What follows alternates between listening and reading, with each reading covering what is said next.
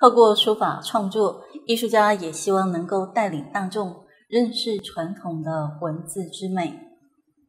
宋耀伟书法家将老屋瓦和古钱币意象融入作品，将古币以仿拓碑手法印在宣纸上，再以金粉书写，金与蓝的对比，让书法有如画作般，更显金碧辉煌。好，所以我把主题定在草书的身上。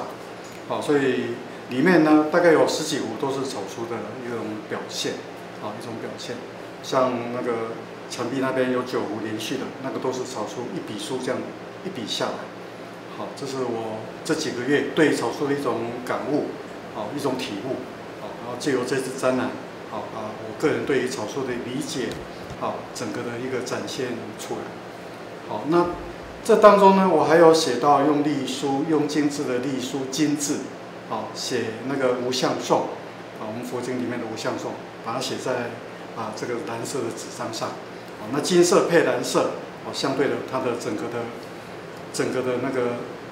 的情景就会跳脱出来，啊，非常明显。那其实我个人在写这个无相颂的时候呢，内心第一个要非常的平静一下，好，因为唯有把心平静下来，我们才能够真正的。把内在的这种书法的精神，好，甚至把无相中的精神整个的展现出来。好，那在用笔的时候呢，要非常的缓慢，好，不能快，好，不能快，因为那个金粉，好，你要能够吸住在纸张上，而且呢，要很明确，要很明晰，不能够啊，这个有太多的太多的不清楚，好，所以这是一个很大的一个难度，但是没有关系，好，因为我们就是要定下来，好，把心定下来。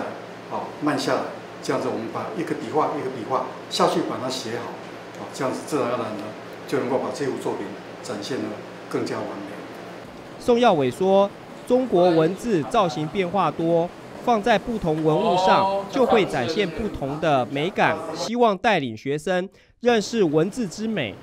十方新闻王天伦、郑正普高雄采访报道。